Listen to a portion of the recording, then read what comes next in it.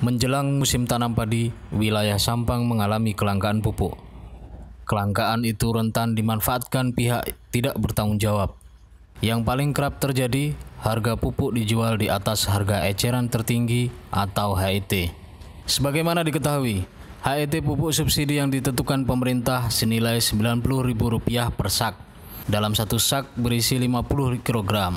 Kini, banyak petani mengeluh karena membeli pupuk subsidi di atas HET.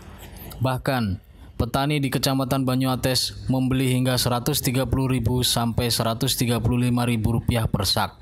PLT Kepala Dispertan Sampang Suyono menuturkan, saat ini sudah ada satu kios yang diberikan teguran karena menjual harga pupuk di atas HET.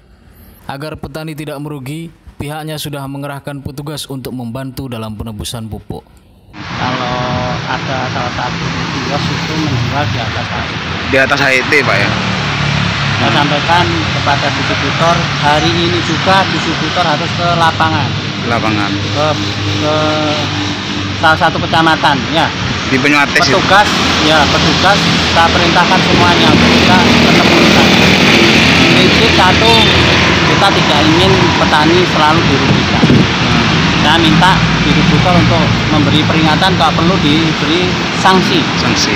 Nah nah kemarin sudah di, di uh, datang semua ke sana juga yang bersangkutan juga sudah diperingatkan. Kemudian kalau memang nanti ada lagi seperti itu kita hanya ingin izinnya dicabut. Dicabut Pak ya.